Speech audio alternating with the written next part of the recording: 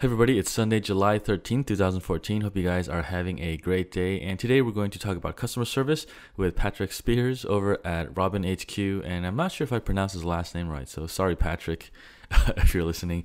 But before we start, uh, I did a site teardown of my e commerce store the other day with Brendan Tully, who was on uh, really early on in the podcast on episode 22.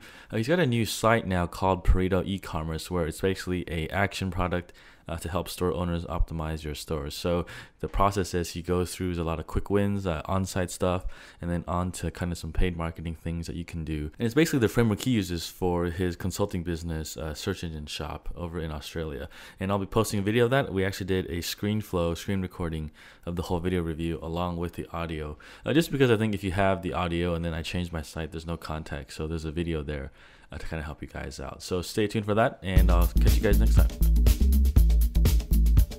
Don't deliver a product, deliver an experience. You're listening to the Build My Online Store podcast, and I'm your host, Terry Lin. We're here to talk about running an online store and building a strong e commerce brand to take your online store to the next level.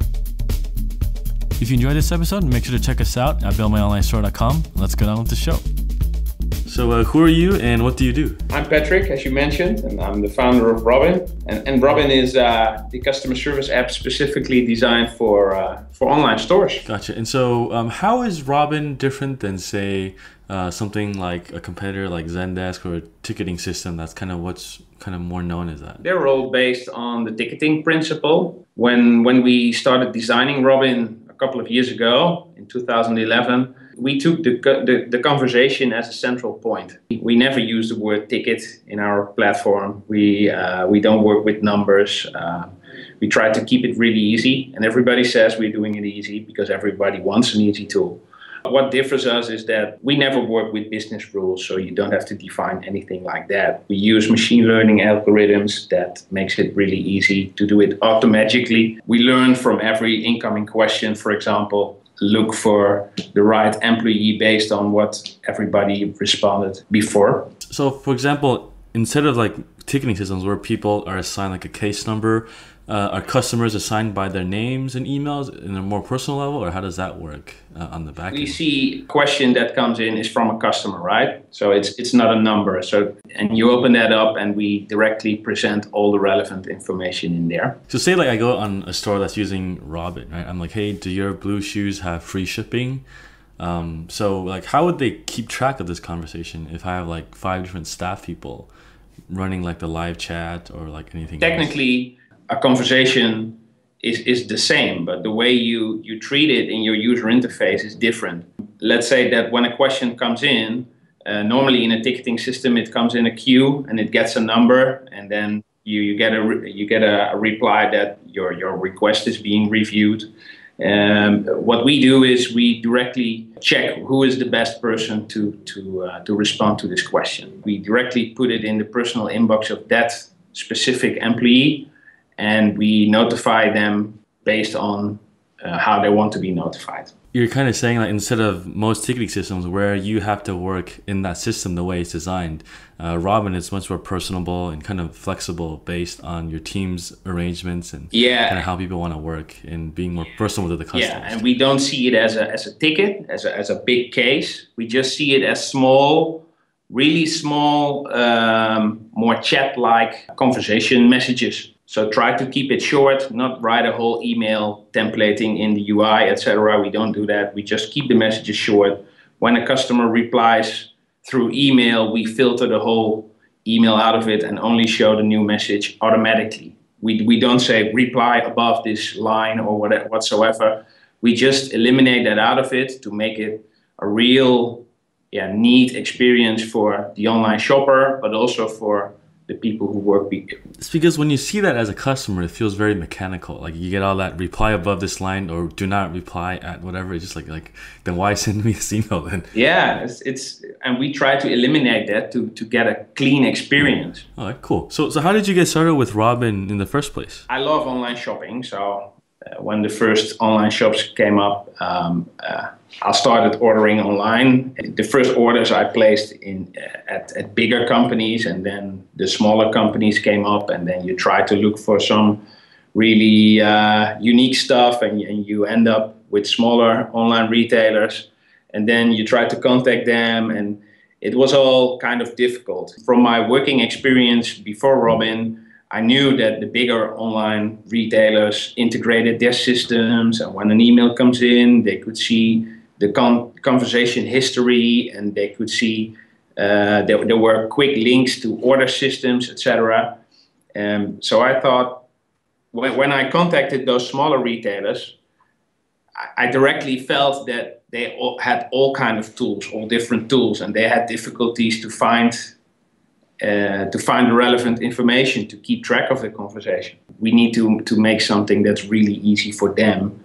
Um, and, and and then I when I decided that I start talking to to smaller online retailers and, and hear what their what their wishes are.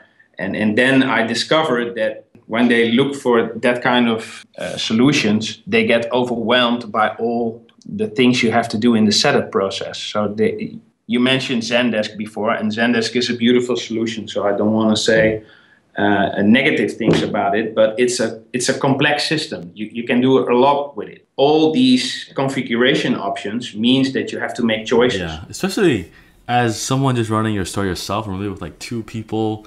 Like you look at the enterprise solutions out there, even like Zendesk, just to get it set up, isn't that? It's not like a plug and play solution. You still got to define all these things and where things go, and like like there's a lot. Like you said, there's a lot you can do, but I think for most people starting out, like you're like, whoa, like where do I even? When you start, you just want to have a real easy thing. Like it's just like I want to start with analytics. You paste your JavaScript for Google Analytics, and you you just start looking.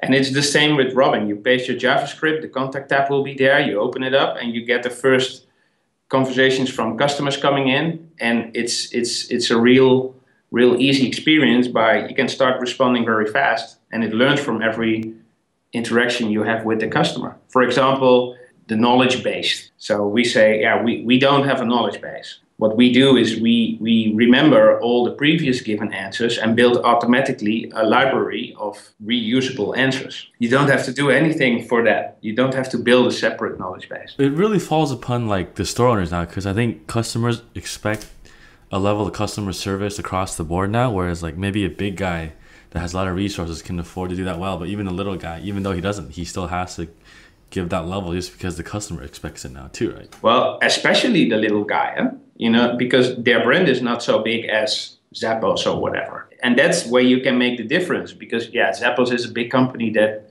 that lives customer service, but there are also a lot of big competitors in the market that just do customer service. Yeah, gotcha. So let's go into customer service a little bit more. So, uh, what are some kind of lousy service examples you've experienced before you started Robin? Because I understand, you know, a lot of this inspiration for Robin came from your own experience. So, what's maybe like uh, one or three examples that you had that really frustrated you as a customer, and maybe something that store owners can take into mind uh, as they're designing their own customer service? Specific examples, you know, I like shoes, so the difficulties with shoes are always uh, how is the size exactly? You know, some some brands I need 42, some brands I need 41 because I'm just a little bit in between. You you just want to talk with with a web store, right? You just want to ask before you order because I'm not the person who orders two pairs like a 41 and a 42 and return one. And the web store doesn't want returns, right? It's, it's one of the big problems. When you try to uh, to contact them, and you have to search where's the email address or where's the web form or where's the live chat button and and and you start looking and you move out of your funnel you start looking for the contact button and then you find an email address and you send that email and then you receive another reply back that says we will reply to you in 24 hours but I am a, I, I always like it fast, right? So, uh, and I think most customers like it fast. And then at that point, you you think, well, is there maybe another store that also has these sneakers, for example? And that was what I experienced. And I thought, well, why is this? Or you just go to YouTube after that since you're distracted, or you watch some cat videos. Or yeah, for example. Or something yeah. in Facebook comes in. yeah.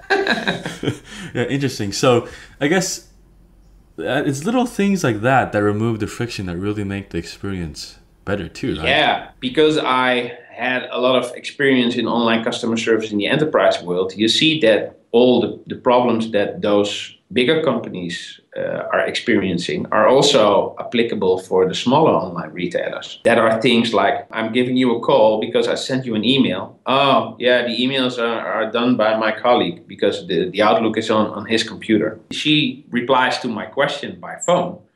And, and a day later, I receive a reply to the email. You know, and, and I think, wow, that, that's a waste of time. You, you know, especially for small teams that run online stores time is is the most limited resource there is. See, yeah, that, that's really frustrating though when you have like an email chain going on, a, a, ticket number, and then you call them and they have no idea what's going on. It's just like a huge waste of time.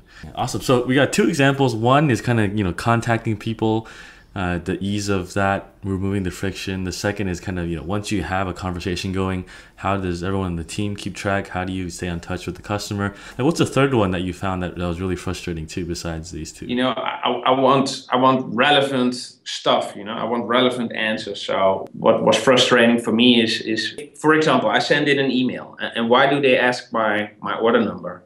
They ask me like, "Hey, can I have your order number?" And I think, well, you should already could see the order history of me because it's done by the same email address, right? Then you feel that they work in different IT systems. And because I know I have a background in it, I know that it's in different systems. But most online shoppers don't have a, a technical background. So they think, huh? All right, this is my order number. And then it's so easy to, to connect those two data sources together so you could give another experience, right? Yeah. And, and I guess this brings you another question. Why do you think most ticketing systems don't have this integrated? Is it because they think of themselves as strictly a ticketing system so they don't bother to enhance the experience or like what are your thoughts on that yeah you know if, if you develop software and, and you do that for let's say the internet at large so for all kind of customers you have to build maybe a hundred different type of integrations to all kind of systems. We, we are specifically designed for web stores. So for us, it's we, we choose it as a strategy to work together with the bigger shop platforms like Shopify and BigCommerce and Magento they, they want easy integrations with, with, with low budget tools. We try to find a way to uh, to create something for them. Do you find it hard for store owners to get on board? Because I think when you have like a Shopify store, there's all these apps you can buy. Yeah. And you know they're like nine dollars a month, ten dollars a month, thirty dollars a month. Like, do you find it hard to get into the customer's mind for you guys? Yeah, it is because, um, for example, the Shopify App Store has maybe 500 apps in it.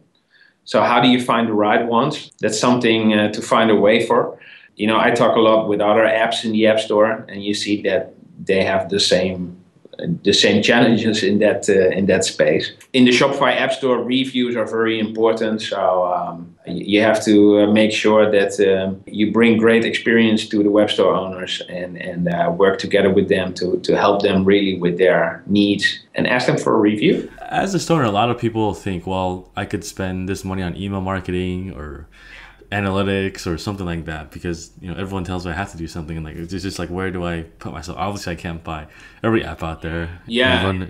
I do really uh, understand that when you when you're just starting your business you just think you have to put all your money in marketing right? Get new customers. That's a logical thought. It's it's important to to get the best ROI on that marketing spend. And and so if you uh, if, if you keep the back door open, which I uh, see as, as if you don't do customer service in a good way, then you will discover that you uh, have a, a, big percentage of disloyal customers. Yeah, and really because word of mouth is the cheapest way to acquire new customers too, right? If someone tells their friend, it's better than spending ten dollars on AdWords on them. I mean, you could, but you get better margins that way too. And I think over the, over time, this is what really scales up. Also, yeah, it's important to grow, but but the most important thing is that the biggest value uh, of customer service is to make sure that people are not getting disloyal. That you can uh, sell again to a customer who bought for the first time. Yeah. So how would you compare, say, really wowing the customer versus, say, just making the shopping on the store really easy? Like we were talking about contact information. Like these things are actually really simple, right? But would you say that's the majority of what makes a good experience, or is it actually one of those crazy stories like you know a handwritten note plus you know flowers or a free pizza like what Zappos does. you know, I, I, like all those experiences. So I love it when uh, when I order something online and there is a small handwritten note in it. Let's say when when one of the the things I ordered is not okay, and I just want to contact them, and and it's it's difficult to get get in touch with them, then this whole handwritten thing is nothing. It only helps when when you have all the basics working. Respond fast that's something that's really important. Respond with a relevant answer, also important. If, if you don't do, uh, do those things, then a nice box or a handwritten note or uh, whatever you can think of, a free goodie or whatever, it doesn't work, you know, because um, it's it's about an easy solution for for problems. When you have that organized in a good way, then you can start thinking of well, the handwritten note. Gotcha. So if we think about this like a pyramid, your base would be that having the structure set up, you know, easy, frictionless contact, uh, you know, good customer service response, and then you have the kind of more high touch, wow things on the top. Otherwise, yeah, yeah if you just have that, yeah, and I, and I and I also can understand that you know once you grow, you get you are successful and you, and your business is growing, and and then your incoming questions are also growing, you know, and then maybe you don't want to have a big contact button on each page because you have difficulties in responding to all questions. That's when also wowing gets to the background and you have to organize all incoming questions in the first place, right? Right, cool. So I guess uh, one question is uh, Is there a certain sales number for a store to make sense to use Robin, or does anyone starting out like today, day one, they should get on board too, uh, kind of on a realistic level? Well, on a realistic level, you mentioned before that uh, all stores or store owners have to make choices in where to put their money, right? So we are not we are not a free app, so we start at five dollars a month. But I should say when you start a web store and you are serious with it, so you have ambitions, uh, you don't do it for a hobby like, oh, well, if I get two orders this month, it's nice. So if you're really serious, then I should advise to uh, to organize also your customer service in a, in a in a proper way. If it is with Robin or with another tool, or, or even with Gmail or whatever, but think about it. You know, organize it in a great way. What what I often often see is that people who just start with a web store, they have one email address, but they use it to communicate with their friends, their family, to subscribe to newsletters, to talk with suppliers, and also to talk with customers. And then after a couple of months, um, they think, well, this is not this is not very very easy to manage. So they have to tell or to tell all their suppliers that their email address changed, or to certain customers that don't email me anymore on, on info app, but just use customer service app now. And um, so what I advise is to, to always to set up a separate email address for your customer communication and make sure that that email address is also the sender of your automatic emails like order confirmations or uh, that kind of uh, automated automated emails. And that's that's a tip for starters um, to do to do to do that at least. So are you saying like instead of having info at blueshoes.com, I shouldn't have like orders at Blue Shoes, payments. I should just have one kind of unified email or? Yes i do think so because um, you have separate email addresses to to organize the things internally and you just bother the customer with your internal processes if you communicate all different email addresses.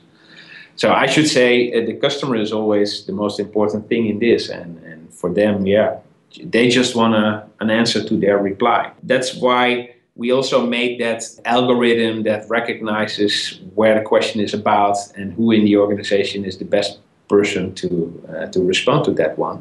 And and that's why you don't need the different email addresses because if you do all the administration questions, then if you have done 10 of those questions, we will recognize it automatically and say, well, send them to Terry directly and not to Patrick. Gotcha. Yeah, because as a customer, I really don't want to deal with like six different email addresses. No, you don't understand. A bunch of people CC'd and yeah, exactly.